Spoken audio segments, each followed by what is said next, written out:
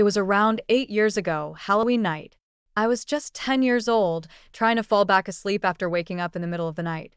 The house was quiet, but something didn't feel right. My bedroom door was open, and there, in the dim light, I saw her.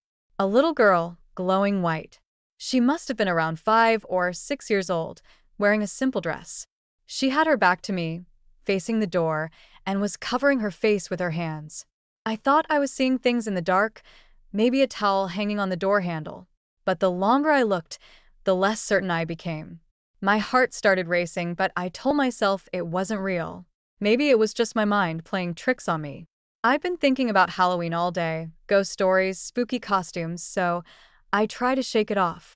I pulled the covers over my head, telling myself it was nothing, just a shadow, a trick of the light. But when I peeked out again, she was still there. Same position, still glowing. She didn't move, and neither did I. Every time I checked, she was right there until something even stranger happened. I kept watching, and suddenly, she began to fade. Slowly at first, then faster, until she was just gone. It was like she melted into the darkness.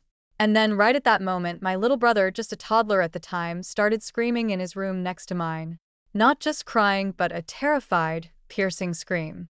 It's normal for toddlers to wake up in the night, but the timing was what really shook me. He started screaming right after she disappeared. Coincidence or something more? Over the years, I've tried to convince myself that it wasn't real. Maybe it was just sleep paralysis, or maybe the eerie feeling of Halloween night had me imagining things. But the timing of my brother's scream, it still sticks with me. It's not the only strange thing that's happened either.